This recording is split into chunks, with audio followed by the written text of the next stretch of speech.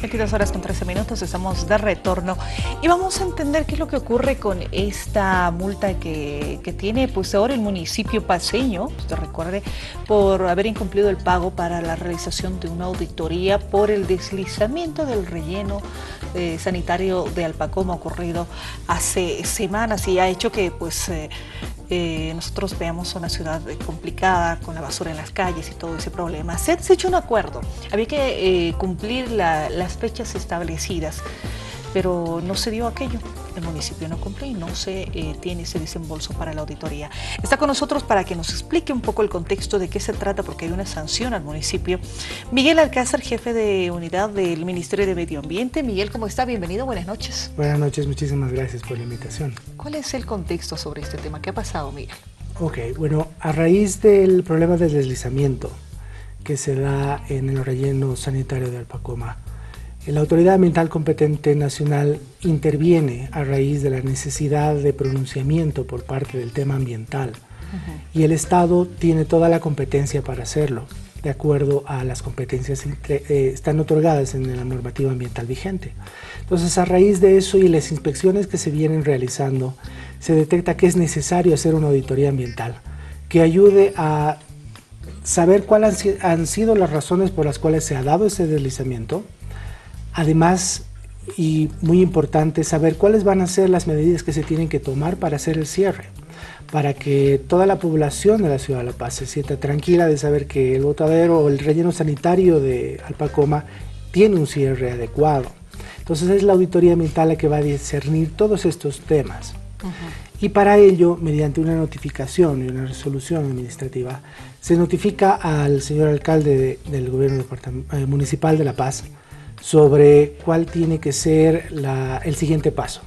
Y se le da un término de 20 días para llegar a pagar una cantidad que ha sido tomada en cuenta de acuerdo a términos de referencia específicos, de acuerdo a normativa ambiental. Y para ello esperábamos el pago en determinada fecha, el 25 de febrero, para ello. A raíz de que eh, el representante legal de esta actividad no realiza el pago, se procede a la, sanción administrativa también, que está estipulada en las normativas ambientales que existen. Entonces ello dice que es el 3 por mil del valor total del proyecto realizado el que se tiene que llegar a pago. Eh, para un proyecto de la calidad del relleno sanitario de Alpacoma era más o menos un monto de 13.400 dólares. Si tomamos en cuenta el valor del proyecto el tamaño que tiene, la envergadura. En realidad, como decía nuestra señora viceministra, es un valor uh, casi nada en comparación de lo que sí se tiene que hacer. Pero evidentemente la normativa también es clara y dice que eso se tiene que pagar.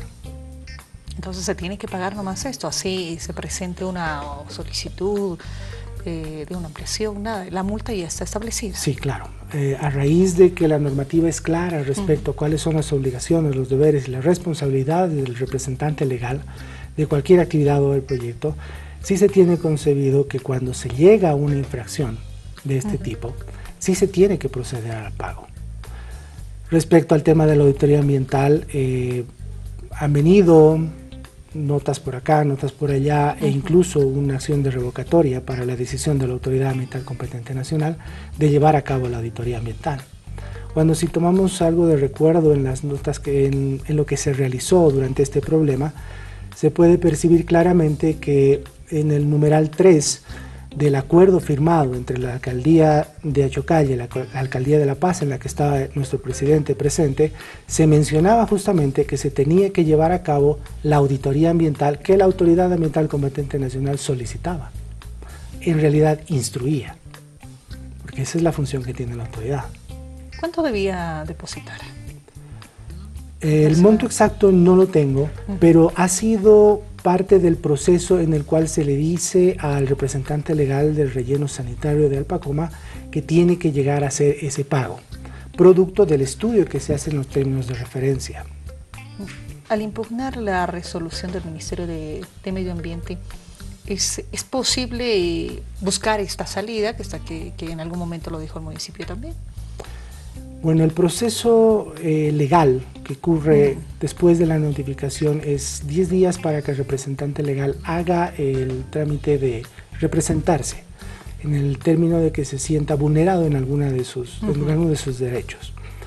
Y en el plazo establecido, evidentemente presentan esta apelación, este recurso de revocatoria al hecho de realizar la auditoría ambiental, pero no se menciona en ningún momento el paro o el dejar sin efecto el tiempo que estaba corriendo, producto de lo cual siguen los procesos tal como dice la normativa y no se tiene una solicitud de espera para el, tiempo que tiene que pagar la alcaldía.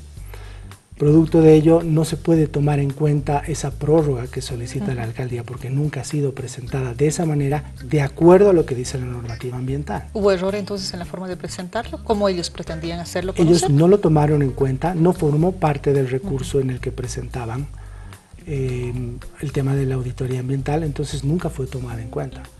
Muy posteriormente sí solicitaron, mediante un recurso que no está dentro de la normativa ambiental, que no forma parte de la normativa ambiental, esa solicitud de cortar el plazo que se les había otorgado. Pero como no está normado y no tiene ningún lugar en la normativa ambiental vigente, no se lo puede tomar en cuenta. ¿Por qué es importante, para poner, nos explica esta, esta, parte del cumplimiento de la resolución eh, del pago de la auditoría ambiental? Ahora, ¿por qué es, es importante la realización de esta auditoría ambiental que estaba dentro de estos temas ¿no? establecidos. En producto de, la, de las inspecciones que lleva a cabo la Autoridad Ambiental Competente Nacional al relleno sanitario se detectan algunas anomalías que salen muy evidentemente. Por ejemplo, el manejo de los taludes, de las celdas, que tienen que tener una proporción específica de altura y de profundidad para que ello le dé estabilidad al relleno sanitario que de acuerdo a las observaciones que tenemos, a, las inspecciones realizadas, nosotros nos damos cuenta de que no se ha mantenido esa proporción específica, que la altura a la que debería haber llegado el relleno sanitario de pronto era mayor al momento del deslizamiento. Por, eh, por ello se tiene un ángulo mucho más agudo para que la presión que existía en la parte alta del relleno haga que esto tenga un problema de deslizamiento. Además nosotros nos percatamos de que no existía un manejo adecuado de las cunetas que tienen que llevar las aguas pluviales alrededor en la parte alta del relleno sanitario. Ello que significa que el agua de lluvias que llega a ese lugar puede percolarse en la parte inferior, provocando justamente este deslizamiento. Sin embargo, es necesario hacer un estudio mucho más profundo que nos pueda dar las luces exactas de cuáles han sido las razones por las que se ha dado este deslizamiento y segundo, cuáles son eh, las, las precauciones que se tienen que tomar de aquí en adelante para hacer el cierre del relleno sanitario. Tenemos que pensar que antes tenía una conformación específicamente armada y de ingeniería que en estas condiciones actuales no existe. Entonces tiene que haber un proceso muy claro, muy bien estudiado de cuál va a ser ese cierre, porque de pronto podemos estarnos encontrando con otros deslizamientos de aquí en adelante y que pueden afectar muchísimo más a los cauces del río y ese es el principal problema.